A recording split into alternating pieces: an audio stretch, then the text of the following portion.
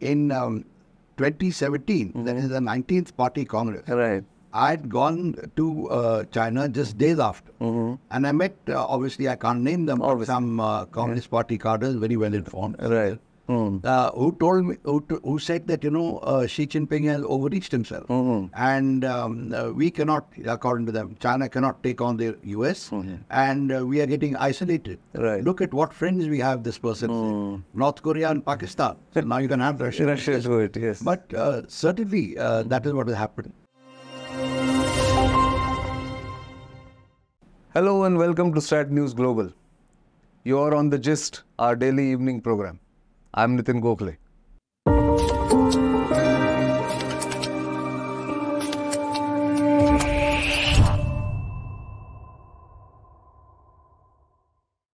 And with me on the Gist this evening is uh, Jayadev Ranade, familiar face on StratNews Global, uh, China specialist, uh, someone who watches uh, developments in China, related to China very closely. And uh, he's someone we are going to uh, ask this question about what's going on in China internally and uh, what is uh, Xi Jinping's game plan with his ministers disappearing out of public view uh, and, uh, of course, uh, so much of uncertainty in uh, the polity as well as uh, in the Chinese economy. So, welcome to this program, Mr. Ranade. Thank you. And um, again, you know, the inevitable question what's happening in China? Is any clarity possible at all? Well, I think uh, clarity is uh, difficult in such an opaque society and a system of government. But uh, certainly it's very, very unusual what we are seeing. The rate at which uh, changes are taking place in China, the way the ministers are going. And uh, I would sort of say that uh, uh, we need to really uh, look at things a bit deeper than just look at the number of ministers or others who have disappeared. Uh, the main issue is what does it mean? Sure. What does it signal? Right. Correct. Chinese politics. Yes. So, uh, I mean, okay, uh, that will uh, certainly be the uh, main theme of this discussion. But uh, a prominent minister, uh, also, you know, someone who uh, has been in the public view as a defense minister, Li Shangfu, is uh, not seen in the public for the last uh, couple of months or maybe from early August. Uh, and uh, before that, of course, we know that the foreign minister, Qin Gang, has just disappeared without a trace. And then uh, there are these other reports about purges in the rocket force uh, and uh, various other uh, organizations. So, uh, when you connect all these dots, you think is it uh, because these ministers were collectively posing a challenge to Xi Jinping, or that he wants to show that he is cracking down on corruption and incompetence? What is it? I, from the information that is available and from what I can see, I don't see these two as uh, having disappeared because they are posing a challenge to Xi Jinping. Sure. Okay. Uh, because, and I'll explain why. But the rocket force could be because of the purging. Right. Um, the rocket force is a favored force. They have always had a lot of money. They've always been very secretive. And uh, with the build-up of the missile uh, inventory by China, obviously they have even more Right. funding. So they, that could be a possibility. I read a report that the PLA's Discipline Inspection Commission, which is their anti-corruption outfit, has started investigations for the period 2015 to 2018, which is when Li Shangfu was deputy commander of the rocket force. So maybe he is involved because they talked about, uh, uh, you know, uh, some uh, errors or Misappropriation. appropriations uh, in the bidding process. But having said that, uh, why I keep Li Shangfu and uh, Qin Gang separate is uh, that both were appointed by Xi Jinping. Exactly. Not only that, since you're talking about Li Shang, Li Shangfu and Xi Jinping, Li Shangfu is also a princeling, by the way. Right. And uh, his father and Xi Jinping's father served together. And Xi Jinping has, in a way, you can say, uh, moved him up. In fact, it was uh, Xi Jinping's father who brought uh, Li Shangfu into the mainstream from being just um, uh, technical uh, Engineer, uh, Yeah. soldier, perhaps. Exactly. Yeah. brought him into the mainstream. And then, of course, he's been promoted. He was brought into the 19th Central Committee of the Chinese Communist Party by Xi Jinping. And of course, now, uh, main defense minister and state councillor.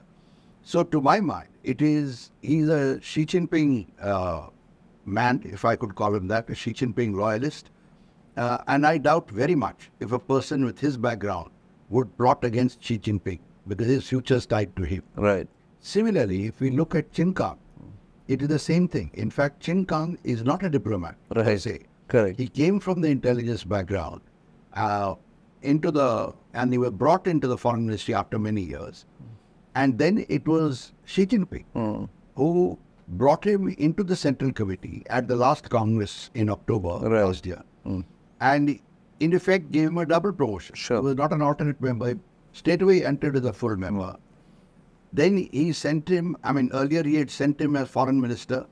Uh, uh, sorry, ambassador to ambassador to US. Yes. Hmm. Uh, you know, ignoring the claims of other senior trade. Then before he finished his term, he brought him back Right. appointed him as full CC member, as a foreign minister, and a state councillor. She, uh, Wang Yi, etc., were waiting five years before they got that. So these guys are Xi Jinping, Blue-eyed boys. uh, blue-eyed boy. So, which raises the question: if they have disappeared or whatever, uh, why? Is it that someone is uh, pushing back against Xi Jinping? Is there a factional flight, fight? Right. Which is what I tend to subscribe to. That there is, there are groups which are unhappy with Xi Jinping, and there are enough of them. Right. We can talk about that. Yes. but uh, they are pushing back because both these are favorites. Right. And, And so he got them, got rid of them to uh, uh, damage control. either that or both of them are, uh, you know, there is an effort to push them out, and the decision has not yet been made, which is why we don't hear it. Right. No, but the, uh, let me take you back to your own article which you wrote for us on StratNews Global just days before the G20 summit, and where you were, uh, I think, in my view, the first one to point out that Xi Jinping is not coming to G20 not because he wants to snub India, but because he has his own problems uh, back home which are uh, just uh, increasing by, by the day. And uh, it now seems that uh, it is all coming true. So obviously you have better uh, analysis and better insight into all this. So uh, if there's a pushback against Xi Jinping, especially because now he's the supreme leader, uh, where would this pushback come from? There are a number of groups, uh, Nitin. You can't, and neither can one identify one particular cause. Okay. So let me just uh, Yeah, run through. give me this. Yes. One is the deteriorating economic situation. Right. No hope in sight for it to improve at the moment, at Okay. least. Mm-hmm. Uh, that is one. Right. Uh, so a lot of people are unemployed. Uh, Mm-hmm. joblessness is very high in the rural area as well as in the urban sector. Second, private entrepreneurs, the businessmen, they've been hit very badly. Mm-hmm. So businesses are closed down. And uh, according to estimates by Chinese, Mm-hmm. thousands of businesses have closed down per year. Right. So you can imagine the extent of unemployment and the unhappiness among the private entrepreneurs. Mm. The figures given out by the National Statistics Bureau, which is an official arm of the government, talks about a slight improvement in the economic uh, economic sector of the state-owned enterprises, I not see. the private enter- Okay. entrepreneurs. So I mean that imbalance remains. Mhm. Third, the uh, income differential Mm-hmm. in the urban sector between the top 20% and the bottom 20% is at an all-time high Mhm. uh, of over 60%, or 6.3 uh, uh, difference. Okay. And similarly, in the rural sector, it is 9.3. Okay. So, you know, income disparities have risen. Then there are uh, a large number of people, uh, veterans as well as party members, senior one particularly, who have disapproved of Xi Jinping starting a third term or making a bid for a third term. Mm-hmm. Many of them feel they don't want to return to the one-man rule of Mao Zedong. Right. So there are a number of factors mm. which are there. Mm-hmm. And there are a sizable number mm-hmm. of uh, Chinese Communist Party members, the younger element, Right. who are A, unhappy with the policy on Russia. They feel that China has gone too close. And second, unhappy with the manner in which the relations with the US has been handled because they feel that's, uh, you know, it could, should have been handled better and China has been isolated. That's their view. And uh, they're uh, pretty worried that, uh, you know, things may come to a stage where the United States hits China with sanctions, which China will, uh, which will really hurt China.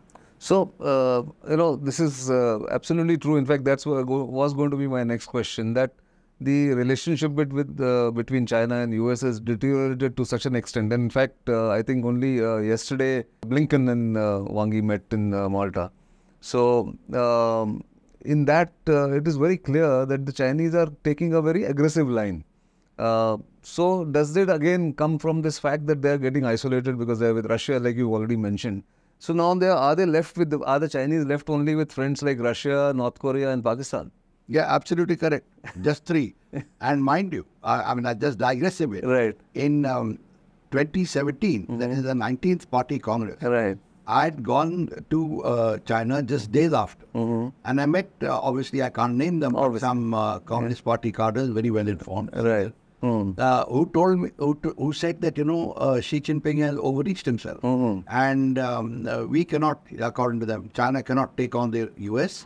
And uh, we are getting isolated. Right. Look at what friends we have, this person. North Korea and Pakistan. So now you can have Russia. Russia do it, yes. But uh, certainly uh, that is what has happened. But in this meeting, it is interesting to see the way that the Chinese laid down what they said is the final red line or the bottom red line or the first red First line. red line on on Taiwan. Yeah, on Taiwan, Mm. which means Mm. Taiwan is non-negotiable. Right. And all that we see happening around us, Mm. the unprecedented number of, uh, you know, uh, military aircraft, ships, etc., that And the blockade. Yes. exactly, and the exercise that is going on. Right. Taiwan is number one on the list. Mm. So f- for them to say that Mm. uh, is basically telling the US that you back off because we are not going to and we are going to take them on. And Right. that I think, in fact, raises the threshold of um, uh, conflict Right. uh, rather than easing it. Mhm. It also appeals to their domestic audience in China that Xi Jinping is not going to bow down. Uh, not going to bow down. Yeah. But uh, in my view, I think that's a wrong, uh, wrong uh, step to take, unless there have been some, uh, you know, uh, parts of that conversation which have not been re- uh, released, Right. which are more conciliatory. On, on between the US and uh, in but in incidentally, China. talking to you about your first point, Right. ministers disappearing. Yes. Wang Yi is reappeared. Yeah, exactly. In fact, till Saturday, people were saying even he's disappeared. Yeah. So I think uh, on by Sunday he's already reappeared. But uh, the Taiwan question uh, actually troubles the world in the sense. Uh, initially, I think about three months ago, we spoke about the deadline, possible deadline as 2027.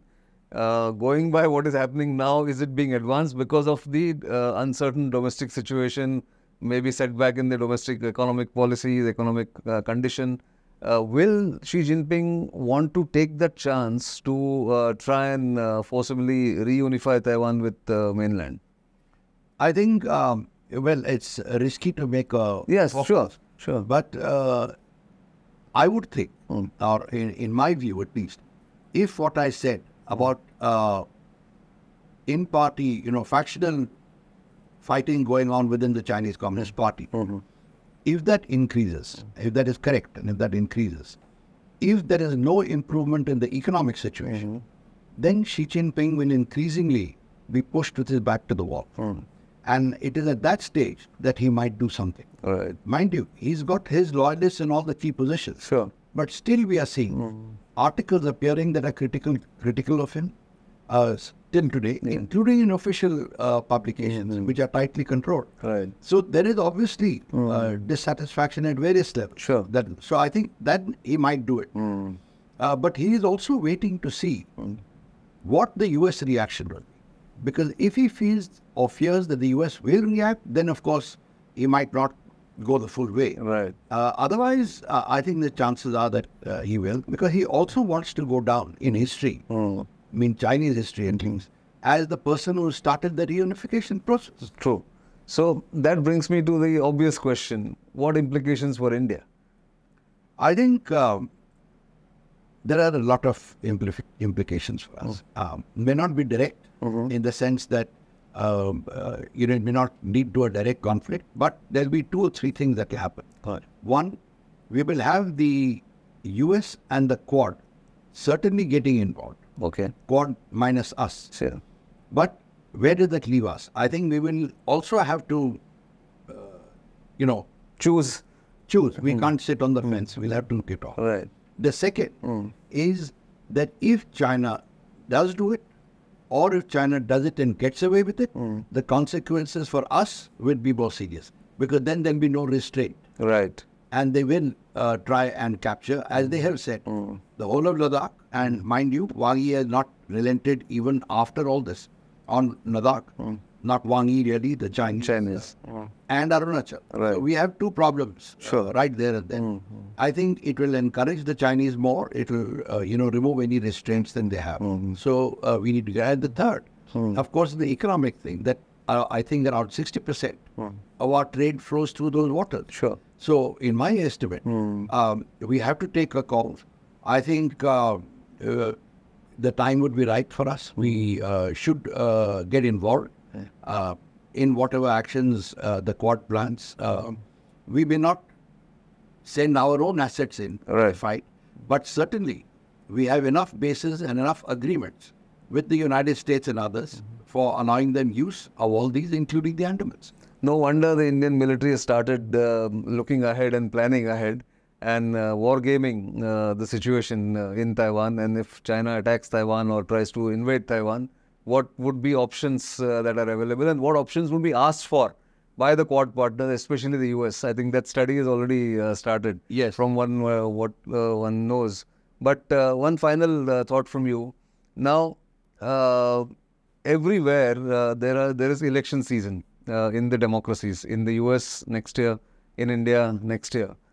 Would it tempt the Chinese to up the ante uh, when um, decision makers, uh, executive uh, decision makers are slightly distracted with their own domestic uh, compulsions or domestic uh, uh, needs for getting re-elected? Would that be the right time for the Chinese to strike? I think it would be you know, a real temptation for the Chinese uh, because they would anticipate that the government would not be able to respond forcefully. I think they will be mistaken um, uh, from what we are seeing, the current deployments. Right. And what I've been seeing is the deployments, including in the Depsang area and all, are quite high. Right. Uh, From our side and from the and from their side. uh, the rate it, they've already built two or three airfields Sure. uh, around uh, Karakoram and those Right. areas. So uh, they they could try something. Right. Uh, I think it's a high risk uh, thing. It doesn't mean that they will do it, but it's high enough risk.